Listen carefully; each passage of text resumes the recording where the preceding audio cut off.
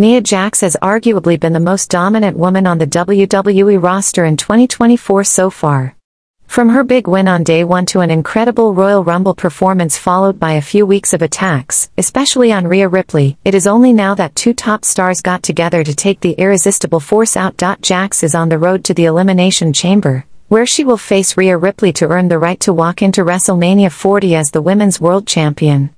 During the latest episode of Raw, Becky Lynch was out cutting a promo about Elimination Chamber and what is to come. Jax interrupted her promo and got the Dominik Mysterio treatment, with fans chanting, You suck loudly. Rhea Ripley, who suffered back-to-back assaults from Nia Jax, came out to take care of business, but Jax managed to get the better of her and Becky Lynch at first. It took a team effort to finally take down the irresistible force. It's going to be interesting to see how things play out in the Elimination Chamber. Many believe that Rhea Ripley, being Australian, should headline the show. However, as of the February 12th episode of Raw, the men's elimination chamber is looking absolutely stacked, with Drew McIntyre, Randy Orton, Bobby Lashley, and LA Knight qualifying.